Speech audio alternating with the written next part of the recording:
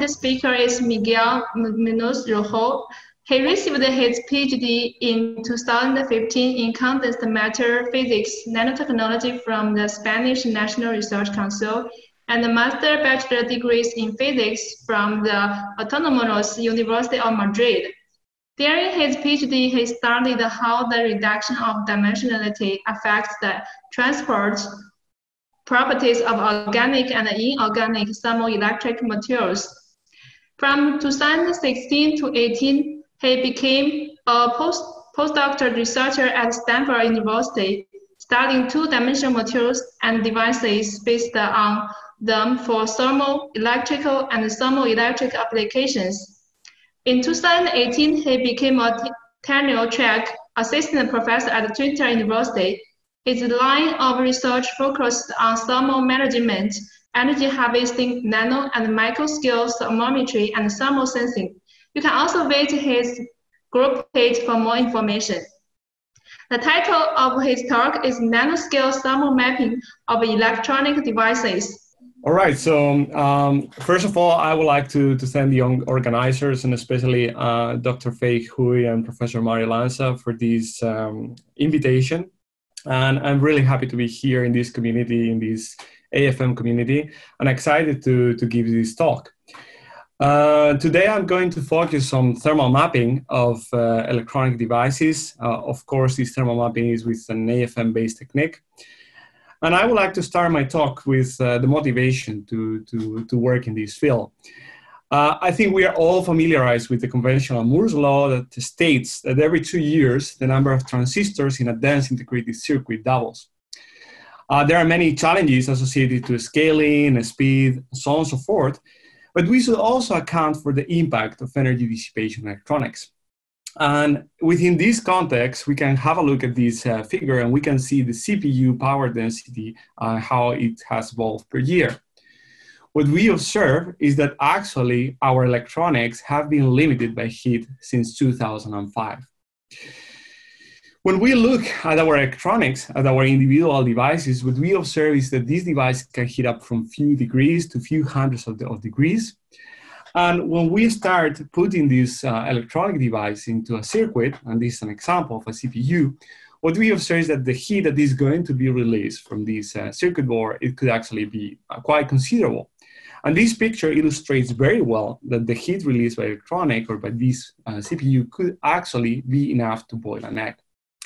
Well, as you can imagine, things get worse and worse as we keep on piling electronics. And one example is that, that, that you can observe in data centers. Uh, in that data center, there's an enormous amount of heat that is released. And if we look at the energy that we invest for cooling, it's actually even larger than the one that we use for servers, storage, or network. So this has led to actually this industry to take drastic solution and move some of these data centers to very cold places in order to cool down their electronics more effectively. But within this context, I think we need to focus also on gaining fundamental thermal insights of our electronic devices. That means understanding their thermal properties, thermal, for example, conductivity of some of the oxide, of some of the novel uh, materials that are being used to fabricate our new electronic devices, and also the heat that is dissipated in novel electronic architectures, and also learn how to manage this heat, because this is an essential aspect to our electrify future. Well, taking that into account, we I mentioned it is very important to gain uh, fundamental knowledge or gain like these thermal insights of our electronics. But then the question is, how can we measure temperature? And when we look at the classical method, when we have a look at the microscopic picture, what we observe is that typically we use thermometers that approach the heat uh, to a hot body, and these thermometers are going to give us a temperature reading well, this is okay, but when we look at the nanoscale and microscale of these electronic devices, what we observe is that the size of these, uh, for example, thermometers, could be too large to actually get an accurate reading of this temperature. And there are other things that are playing a role, like thermal interfaces. So we need for approaches that can actually measure at the nano and microscale that can measure these temperature. Classical approaches are, for example, electrothermal methods in which uh, they use a, a, metal line that can be used both as heater or as a sensor. So with this, you can obtain local information of the thermal properties of your sample or explore some interesting thermal phenomenon uh, that, uh, that you can have, for example, in different type of sample, like three, five materials, like this example on, on two-dimensional electron gases that you can find in, in these type of structures. Uh, but the problem is that you cannot obtain thermal maps. In this case, this is a very local measurement of the thermal properties of your sample. When we talk about devices, what we are interested is in spatially resolved device thermometry. And if we look around, what we have is different techniques, like, for example, some optical based, like infrared thermometry, that allows a very large scale temperature maps with a spatial resolution of around five micrometer. We can do it better uh, using some optical techniques. And another example is the Raman thermometry, in which you have a spatial resolution about 0.5 micrometer. But the advantage here is that actually, as far as your materials have Raman signatures, you could actually get 3D maps of these, uh, of these devices. Um, and I think when we talk about high spatial resolution, one of the techniques that allow actually to obtain local information uh, with special uh, resolution in the in the nanoscale with something around 50 nanometers, the best case scenario, is the scanning thermal microscopy. And the scanning thermal microscopy is an, an AFM-based technique, which typically use a nanoscale tip uh, that can work both as a local heater or as a thermometer. And uh, let me give you a bit more information about this technique for those who are not familiarized with it. So as I said, um, as the size of materials and devices shrink to nanometer, atomic, or even quantum scale, it is more and more challenging to characterize the thermal properties reliably. Scanning thermal microscopy is a technique that is known but is now emerging to obtain local information of electronic devices by controlling and monitoring probe sample thermal exchange processes. In this figure over here, uh, I think we all know what an AFM is. Um, what we do is to integrate this uh, ST probe uh, into a classical AFM. And then we use a special designs apart that, that actually allows to record the signal that is coming from this uh, thermal probe and that to give us information about the thermal properties of our sample. Then with this kind of system, you can obtain uh, both a topographic map and also a thermal map.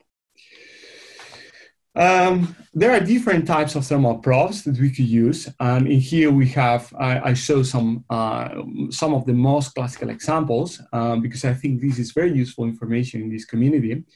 On the one hand, we could use thermoresistive probes, and these probes basically have an element that is uh, whose electrical resistance actually depends on temperature.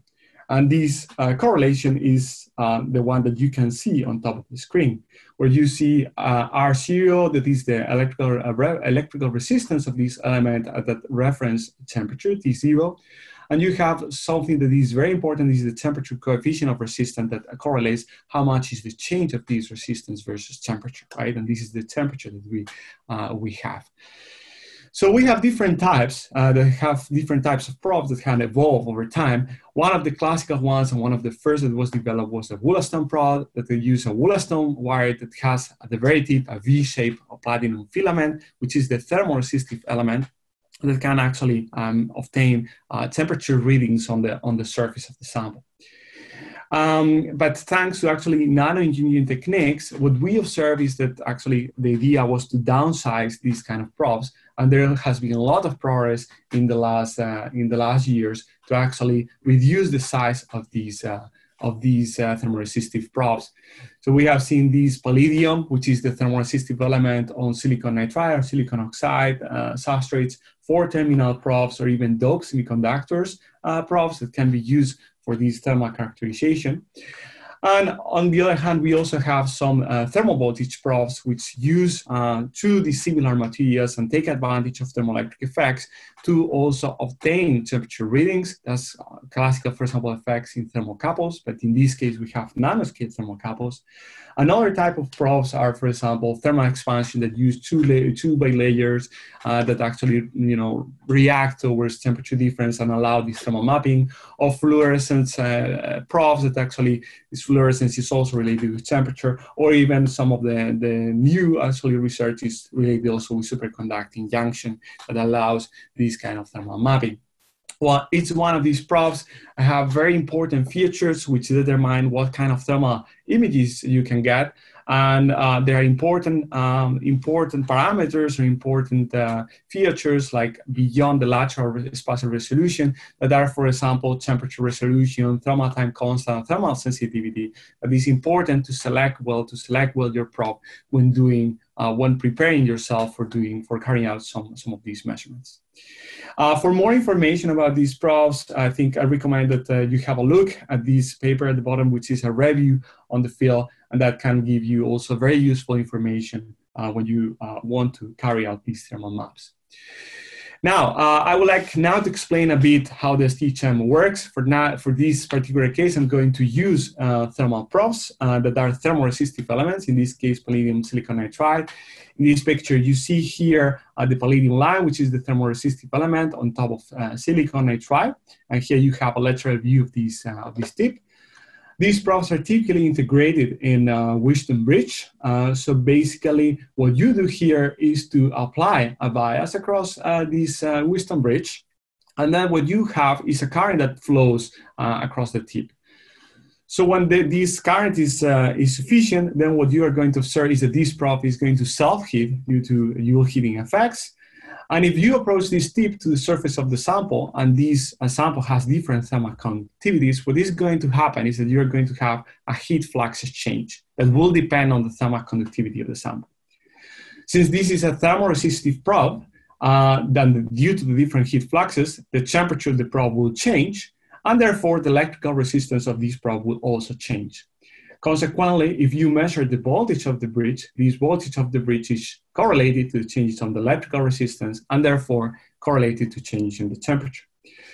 With this kind of method, with this kind of AFM technique, you can obtain simultaneously a topographic but also a thermal map. And this is an example of a classical uh, carbon fiber epoxy composite with two different uh, areas that present different thermal conductivities, and then you can obtain such thermal map. It's very important to mention here that note that this uh, measurement is giving, since this is a thermoresistive probe, is giving in millivolts. So it doesn't give directly the temperature of uh, the probe, but instead it gives you the change in the, in the bridge voltage. Now, at this point, I think it's very important to understand a bit better how the STHM works, is that we have two different, uh, two possibilities for measuring. One is the active mode, in which case you actually uh, heat up the probe. So the probe is acting as a heating element. And then you transfer heat from the probe to the sample surface.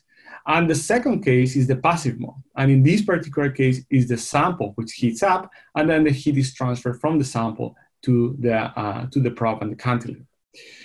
Now, there are, if you look at the thermal network, uh, it's very important you see here in these two modes, a contact thermal resistance that, is, uh, that happens between the surf and the probe. And that depends on the solid to solid uh, thermal resistance. So that's actually the solid to solid uh, uh, contact between the probe and the sample surface. The conduction across the air, the influence of the water meniscus, the thermal resistance due to the water meniscus, and also thermal resistance due to radiation process. Now, uh, when we talk about this heat transfer mechanism, uh, it's also important to mention that we have two different uh, potential modes uh, within this. And this is the contact mode, in which, once again, you see here the parallel thermal network that you have, in which you have solid to solid conduction. And this solid to solid conduction happen in this small uh, region, which is defined by this uh, radius of contact between the tip and the sample surface. And then the rest of the process is like radiation, water meniscus that you see here, diffusive and transition or ballistic, depending on, the vicinity of the probe to the surface. In the end, they result in an area of exchange of heat that is defined by the thermal exchange radius that is here named or labeled as B. Okay, that's also a very important parameter. And in the non-contact mode, of course, you don't have the water meniscus and the solid uh, to solid uh, heat transfer, but still you have the radiation and the air conduction. still, here is very important to notice, to notice that you have a thermal exchange radius, which is the area, once again, at which the heat is exchanged between the probe and the sample surface.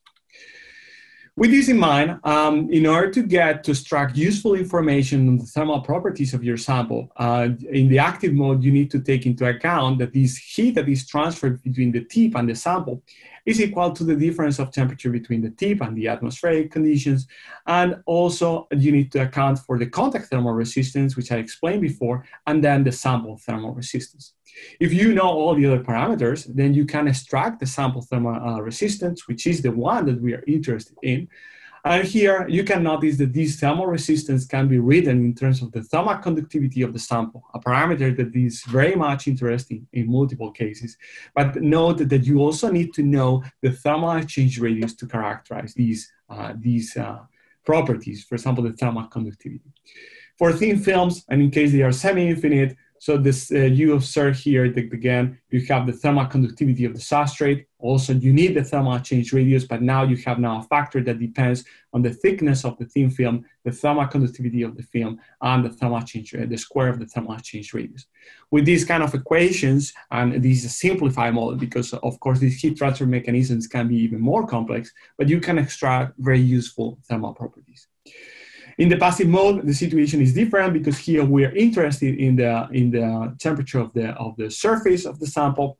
And if you know all the rest of the parameters like contact thermal resistance, the tip uh, temperature, and the heat that is transferred to the uh, surface and the tip, uh, then you can obtain and you can sense the temperature that you have on the surface at this point, I think it's uh, very important to, to mention that in order to do that, in order to extract the thermal change radius or the contact thermal resistance, there are multiple calibration strategies that can be implemented that you need to take into account to be accurate in the determination of these properties. For that, once again, I recommend you have a look at this uh, review paper that I wrote uh, a couple of years ago that actually gives you that information and show you some strategies that you can use towards this end. Now, we have, I try to give a let's say a little bit of background of the challenges that you have for this THM. And I would like to mention that the area of applicability of the scanning thermal microscopy is very diverse. It goes from characterizing qualitatively on the thermal conductivity of thermoelectric materials, for example, uh, polymers or bio-related materials, um, but I think more specifically, what brings me here today is related with thermal characterization of thermal properties of electronic uh, of electronic devices made, for example, from 2D materials or phase change materials, among others. And that's what I'm going to focus uh, from now on. And one example is the GST is, uh, is one type of phase change materials that is used uh, for memory devices. And uh, such memory devices are two terminal resistors that retain the resistance state as a function of the applied voltage or current. Among these, uh, we have phase change materials. In this case, I'm bringing germanium antimony tellurium. Uh, this is a well-known phase change material for electronic community. And these materials can be set to a crystalline, uh, low resistive state or and reset to an amorphous, high resistive state using electrical pulses. Here it's important to say that self-heating and the local temperature play a major role in the principle of operation of these PCMs. So as an example, many advantages like energy efficiency, improved with scaling, and shortcomings like reliability of this technology stem from this inherent dependence on self-heating. Therefore, understanding the energy and heat dissipation mechanisms is key for the evaluation, design, and optimization of all such future technology. Here, uh, I use scanning thermal microscopy uh, and a thermoresistive probe like the one that I showed before in order to obtain thermal maps of these GST uh, memory devices to obtain uh, this thermal information. If you look at this image, what you observe is that you have the GST in between uh, two electrodes, in this case made of uh, platinum, and then the thermal map on the right, which since we are sensing, this is practically flat. It doesn't show any contract because there is no heating coming from the sample. If we start applying a bias to it, the current that is flowing through it, what we observe is that this sample is starting to heat up. And more interestingly, what we observe is that a great part of this heating is happening right at the contacts, as you can see over here. So you do have some heating in the channel, but especially at the contacts. That suggests that power dissipation is being dominated by the electrical contact resistance. This kind of information is very useful and can be actually extrapolated to other devices. At this point, I think it's very important to remember that we are using a thermoresistive, uh, thermoresistive probe.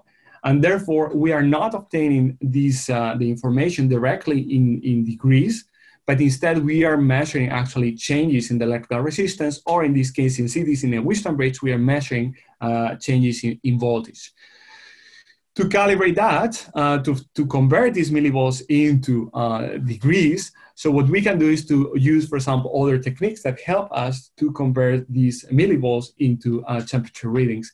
And one example here that we use successfully is to combine this STHM with Raman thermometry the Raman is calibrated and is measuring uh, the temperature across this device. The gray areas correspond to the electrodes, and then you have the dots and the profile in blue that correspond to the temperature readings as the, the Raman scans over the, the device. But you see that the resolution, especially at the contact, is not that good.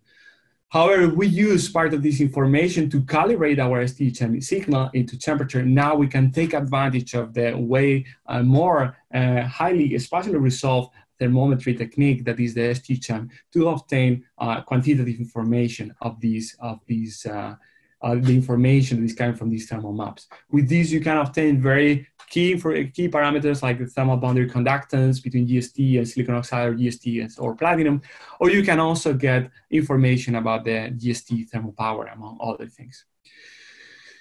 This is okay, but sometimes we don't have the possibility of calibrate uh, the signal that uh, we have from the STHM and convert it directly through another technique. And one clear example is uh, the one that we obtain from the resistive switching in resistive uh, random access memory devices. In these particular devices, for, for those who are not familiarized, these kind of devices work on the formation or based on the formation and rupture of conductive filaments in thin metal oxides. One example of this memory device is the one that you see here that, uh, that contains two uh, electrodes, two platinum electrons, and in the middle you have the hafnium oxide, which is this type of thin metal oxide that I was talking before. And uh, what you do uh, in, across these type of devices is to actually uh, form or, or you know, create the rupture of a conductive film. Let me explain a bit better how this works. When you have such configuration, and if you start applying bias to, across these two electrodes, what you observe is that at the beginning, uh, when you apply bias, there is a very little current that flows through it because of course you have an oxide here. This is what we call the high resistivity state. However, at some point, and when we reach a particular bias, what we observe is that there is a spike in the current, and then we go from the high resistive state to the low resistive state, and there is more current flowing through it.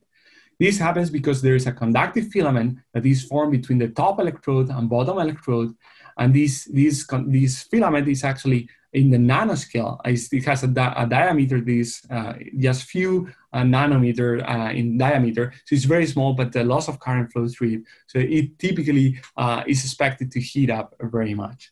This, this kind of behavior can be reversed by applying uh, the reverse voltage, and then you move from the high resistive state to low resistive state, and so on and so forth. These are the zero and one of our uh, memory devices. Now, in this case, we could try to use an approach similar to the one that I mentioned before to compare to other technique, but the spatial resolution that the STHM achieve allows us to observe the really hot spots that they're coming from the filaments that are formed in these uh, particular devices. And we can see them at the surface of the electrode. If we try to do the same with another technique like the Raman again, what we observe is that this, the resolution of this Raman technique is not enough to, to obtain, to make a, a calibration of the STHM. So we need to use a different approach for that. At Stanford University, we also came up with a strategy to actually uh, calibrate this technique. As I mentioned before, we have uh, multiple parameters like the thermal exchange radius and the contact resistance that need to be calibrated. And in this case, what we did in order to, to take into account these effects as well as artifact coming from the, from the roughness of the sample is that we develop uh, lines, metal lines that were varying width from one micrometer to 50 nanometers. So when we were doing the STHM, we could actually, when we apply current through that, they are going to heat up, and then we are going to be able to see that in the STHM. These metal lines have a well-known temperature coefficient of resistance, so we know in advance how much they are going to heat up. And then if we know how much they heat up, and we know also what kind of defect or, or, sorry artifacts we can have in the STHM due to the changes in the th- in the let's say the artifacts that you can have due to the to the roughness and due to the step uh, that we have right in between the substrate and the top of the metal line, we use a code that combine all this information and in the end gives us a, a, a, calibration factor that converts the millivolts that we measure into Kelvin. And in this case, it's dependent on the line width. This is, um, this is actually the conversion factor that I was talking, millivolts into Kelvin, and this is the dependence on the width. Uh, the width will somehow represent actually the change of these um, thermal exchange radius that I was talking before, this V factor. And what we observe is actually this is very important. This affects especially at very, at very small features in which we truncate partially the thermal exchange radius or when the heating features are really small, like the one that we observe, for example, from the uh, heating of the filament. With this information, we were able to convert these uh, the hot spots into temperature readings and now we can explore we can measure the temperature we can quantify this information and we can explore it at different uh, powers of the sample. Now this is already very useful. We can measure the temperature but remember that we measure the temperature at the top of the surface so if we want to know exactly what is the temperature of the, of the filament based on the temperature that we measure at the surface of the sample, it's important to take into account the potential drops of interfaces due to thermal boundary conductance that we have in these uh, different uh, layers. And also these kind of uh, uh simulations can reveal that the temperature of the filaments could achieve very, very high values of temperature, as you can see in this slide, when they hit in less than 10 nanometer diameter. So the problem here is that this is a very good uh, reading on top of the surface of the device, but look that we are 55 nanometer far uh, from the filament compared to the surface. And we wanted to make it closer in order to, to avoid these kind of effects of interfaces and to get closer to the filament temperature reading. In order to do that, we uh, use an ultimate uh, approach that was to use ultra thin single layer graphene as a top electrode. And this is the type of devices that you can, uh, you can observe in which you have actually the crossbar configuration of this device, the same kind of behavior that I was, I was explaining on the switching. And these type of devices actually perform quite well. Uh, we carried out STHM on devices with the again a graphene as a top electrode, and we were also able to observe this uh, heating um, uh, that is coming from from uh, filaments that are formed in this hafnium oxide. And now we are really close to these uh, filaments. And from all this information, uh, what we were able to obtain is like uh, what we did and to obtain also more information about interfaces and to get more information about the temperature of this filament. What we were doing is to vary also the thickness of the top electrode from the arena situation to later on uh, smaller, only with 15 nanometer of titanium try two layers of graphene or single layer, but allow us a careful car uh, characterization of the temperature of these filaments as we were changing the top electrode, as you can see in this figure, but also as we were changing the power that was applied to these uh, devices. Not only that, but I think it's also worth mentioning that we were able to do in operando STHM in which we position the STHM tip on top of the on top of the filament or the heating that it was coming from the filament. And with that, we were able to do uh, cycles of set and reset. And here you can see the temperatures that we were achieving as we were uh, sweeping uh, the, the, let's say the power and doing set and reset or forming or, you know, uh, destroying the filament uh, in these particular type of samples. This is a very unique uh, result because it's the first time that actually we have been able to, uh, to characterize the, the temperature of these filaments in these type of memories.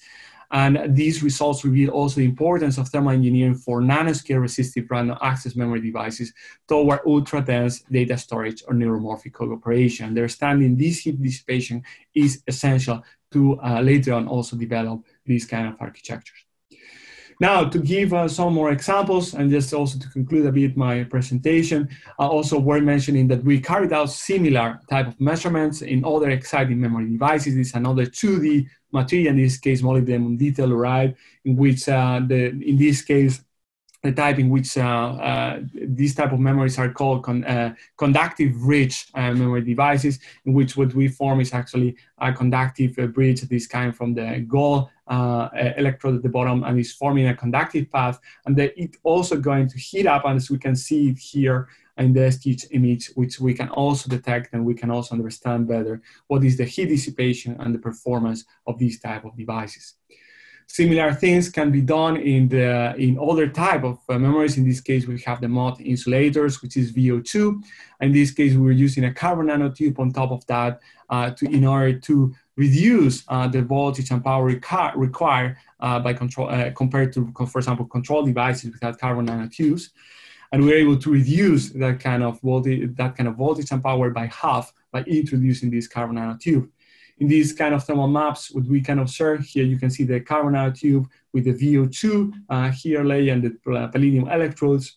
And then here you can obtain the thermal maps and you can see what also is the influence on how, how the actually thermal engineering can help to improve uh, device behavior with that, I would like to conclude by, uh, by saying that uh, I would like to highlight that STHM is a unique thermometry technique that has rapidly attracted attention of electrical engineers to characterize uh, the energy dissipation in, in electronics.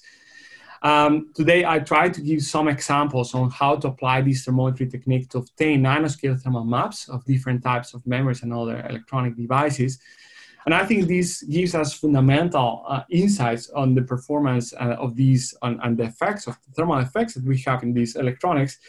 And with these, we can actually, uh, you know, avoid thermal crosstalk between, between devices, facilitating energy efficient electronics.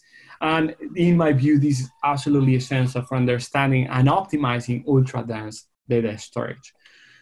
I would like to conclude my presentation by um, by uh, saying that uh, that actually I would like to especially thank the group of Professor Pop from Stanford University, where I carried uh, this uh, great part of the work that I presented today. Um, when I was there as a, as a postdoc, and I would also like to thank all his uh, group members, some of which uh, you know provide a key role to fabricate or characterize these devices, and who are especially acknowledged here. I would also like to, to, to thank some of the funding agencies that made possible this work uh, where, I, where I was at Stanford. And my group at the University of Twente continues doing research associated with STHM on some of these um, special uh, devices that I was talking before on thermal management with novel control devices or the use of thermoelectric materials and devices for energy harvesting. If you are interested in some of these research lines, please visit our webpage and do not hesitate to contact us. We are looking forward to, to hearing from you. Thank you very much.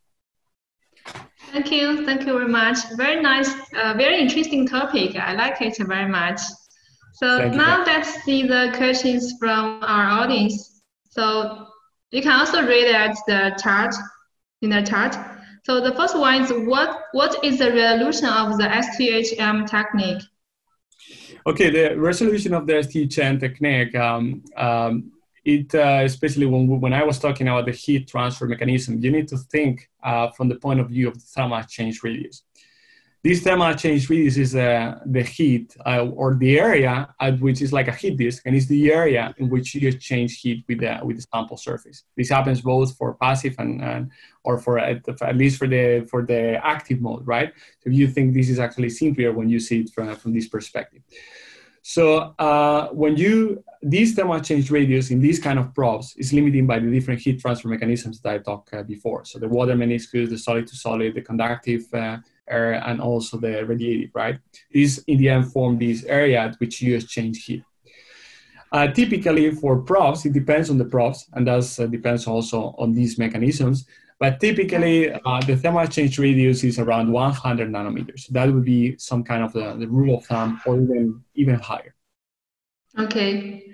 Okay, thank you. So our next question is from Professor Mario Lanza, and uh, he mentioned that in today's interview, uh, Professor Oshel mentioned that obtaining absolute values with conductive AFM is very challenging.